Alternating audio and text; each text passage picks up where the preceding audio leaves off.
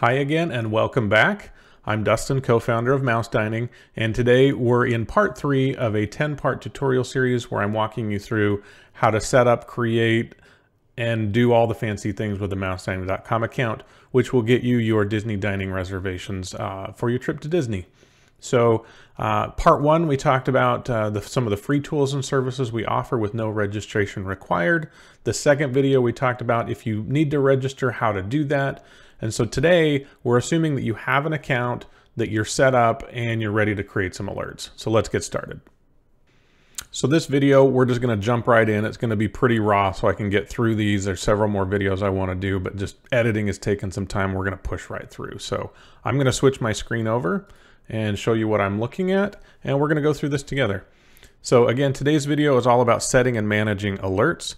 And uh, the way to do that is you can navigate to the restaurant um, either by searching it here, browsing it here, or using these quick links uh, that will change out here.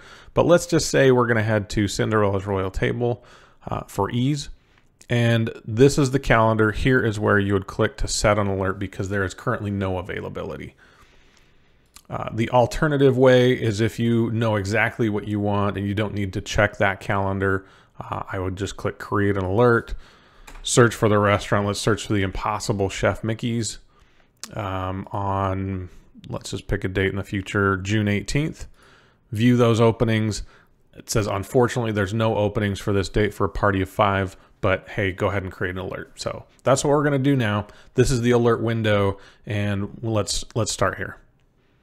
So a mouse dining alert consists of five key things. It is in, in hierarchy, it is the date, the restaurant, the party size, the meal, and the preferred time. And those five things consist of an alert, and, the, and that's more or less an alarm that you're setting and saying, hey, mouse dining, if you ever spot something that matches this criteria, please notify me. And so uh, notice that I use those distinctions. The alert is kind of the alarm details that you set and tell us to watch for. And then the notification is how we will notify you when we find something. And so alerts are uh, tied to your account type. Free accounts get six, monthly subscribers get 50, and annual subscribers get 100 simultaneous alerts. Um, but keep in mind, those are simultaneous, so you can rotate through those. Once you get a few other dining reservations you're after, just create a bunch more. Uh, the important thing to note about notifications is those are what's unlimited. Those are not uh, with number. Those will continue to send you notifications no matter what. And those don't cost you or you're not limited by those at all. It's just the actual alerts or the alarms that you're setting for Mouse Dining to notify you. Okay, so with that out of the way, uh, let's just take a quick look at this and how to navigate this window. And there's some functionality built into this that makes it a little bit easier. But um, I'm going to go with my party of five. And again, we're going to search for the Impossible uh, Chef Mickey's breakfast. And I'm going to use any time. Now it defaults to that, but the important thing to know about any time is that any time is tied to the meal. And so this is basically saying anytime during breakfast for five people, notify me if you find something for Chef Mickey's on Friday, June 18th. And so you can kind of read backwards on this, but uh, if you wanted to be more specific, you can choose a preferred time. And that little asterisk, this is small text, but it reads, you'll receive alerts within 60 minutes of your preferred time. Select any time to expand your search to all hours. So those all hours are, again, specific to the meal that we're choosing. But if I were to say I want 9 a.m. breakfast at Chef Mickey's, that means Mouse Dining will suppress any alerts that exist before 8 a.m. and after 10 a.m. So you will only be notified and get those notifications if, it, if we spot availability or dining reservations become available between 8 a.m. and 10 a.m. And so there's some strategy that I'm going to talk to you about in just a moment, but let's stop there and, and just keep moving forward. So I'm going to go ahead and create this alert and I'm going to set it for anytime. So when I set that alert, it's going to say it's confirmed. And at this point, I can go back to the restaurant, view the alerts, or just quickly set another one. Well, let's say I'm going to be on the parks for a few days in a row. I want to set another alert. Well, rather than having to go change the date, I can just click next day, set an alert for the 19th, which is a Saturday, set another alert. Let's try for Sunday, set another alert. Uh, next day, let's try Monday. And now I've set four alerts uh, Friday, Saturday, Sunday, Monday to try and get breakfast at Chef Mickey's for any any breakfast hour. Um, so at this point, let's go ahead and view those alerts. You can click that button here, or from the home page or any page on the website, you can always click this alerts button up here. Okay, now I've got these four alerts and they're all here. And at this point, I can manage them or essentially cancel them. Um, currently, you're unable to edit that particular alert, but you would just need to cancel it and then go re-add the correct one if you needed to change a party size or a preferred time or a meal, for example. Um, the other option is, you know, say your trip's all done or you had a whole bunch for Chef Mickey's and you finally got one, you can just remove all alerts and then you can move on to the next restaurant. Okay, so we're going to jump back to strategy like I mentioned before. There is some strategy or even some prioritization I would describe as, as using your mouse dining account to get the most out of it. And that is there's two types of people I, I generally see. There's those who want dining to fit into their current plans, and then there's those who make dining the plan and then let their day flow around that. Uh, I'm telling you now, if if you allow dining to be the priority and plan your day around the dining, you'll have a much easier time finding dining reservations than if you're very strict on the dates or meals and very much so if you have a very select specific time you wish to dine at. Um, because at first my strategy is to go broad and just see what's available. Um, use mouse dining to get the maximum visibility into availability for a particular restaurant if that's really high on your list. And so, like we did with Chef Mickey's, go, you know, four days in a row. You really want breakfast, but let it be any time, you know, and that could be, you know, 5:30 in the morning or as late as like 10:30 in the after or 10:30 in the morning. And that's I know that's a big span, but you can usually kind of plan around that.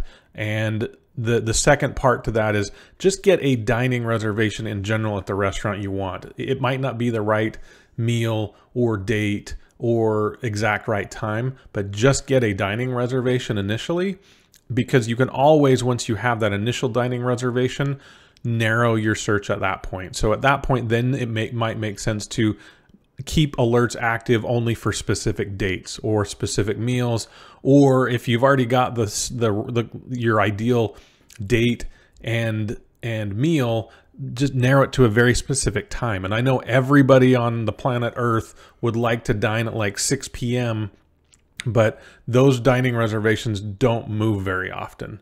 Um, what you're going to see a lot more of is like the 4 p.m. and the 9:30 p.m. and later dinners are going to be what you get a lot of alerts for. And so snag one of those and then make make your plans around that, but then keep a, an alert active to try and get a more ideal time. And so set one or two for preferred times between say 6 and 8 p.m. so that you're in a in a better hour. And those are just some tips uh, uh to help you prioritize and strategize how to use this these limited number of alerts on mouse dining. Um, but typically, I would say try and get those that you think will open up first so you can get the dining reservation for the restaurant that you want and then move on to the next one. And then once you have dining reservations everywhere you want, use those remaining alerts and time on your subscription or before you go to just narrow those down and get more preferred or more ideal times for you. Okay, so let's let's actually see this in practice and do this together. And so I'm going to go back to our Chef Mickey's example. In uh, we use the same dates, June 18th through the 21st. And so initially, you know, it might look something like this, where we're, you have, you know, four or even six alerts. I'm going to go ahead and just recreate these real quick.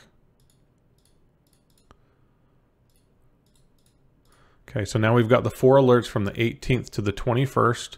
We can view those and confirm that here, 18th, 19th, 20th, 21st. And let's fast forward a week or two and say we received several notifications, but we're finally actually able to secure a dining reservation at Chef Mickey's for breakfast on June 21st, but let's say it was like at a not ideal time. It was like 11 o'clock in the in the morning, which is pretty late, and you just want an earlier start that day. Um, what I would do at that point is we've taken up four alerts at this point.